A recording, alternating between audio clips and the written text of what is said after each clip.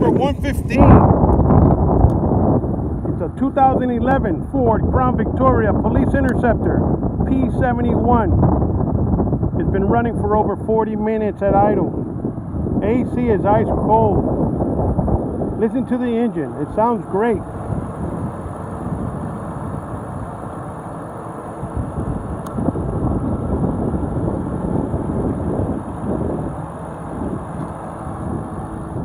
It only has 72,000 miles.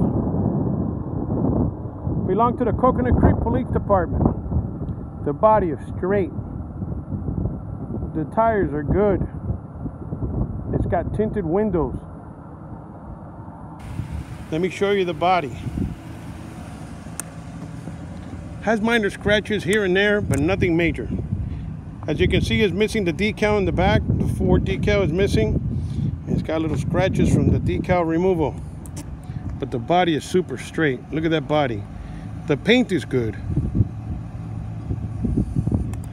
Let me show you the inside.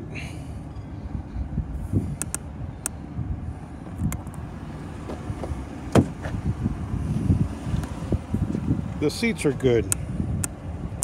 Both of them. The AC is blowing ice cold. The door panels are nice. The dash is good. The steering wheel is brittle from the sun. Let me show you the, let me rev it up for you.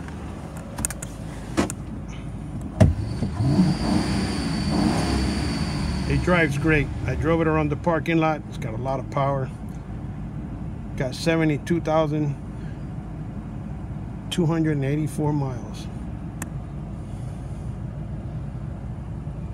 Door panels are nice. The headliner's nice. Let me show you the headliner. Looks good.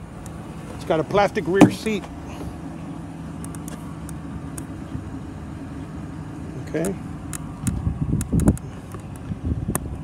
Nice door panels. All right, this one has a spare and a jack in the back. You can see it in the picture. And that's pretty much it. Solid car. Good luck.